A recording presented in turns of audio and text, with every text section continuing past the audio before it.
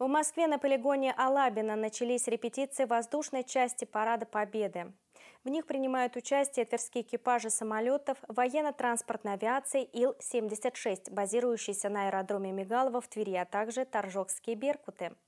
Вертолеты пилотажной группы «Беркуты» отрабатывали проход группы над парадной площадкой подмосковного полигона Валабина во время репетиции парада. Окрашенные в камуфляж вертолеты в парадном строю пройдут над Красной площадью 9 мая. В составе группы наиболее подготовленные летный состав армейской авиации, лучшие вертолетчики России. Несмотря на сложившуюся эпидемиологическую обстановку, подготовка к Параду Победы проходит в плановом порядке.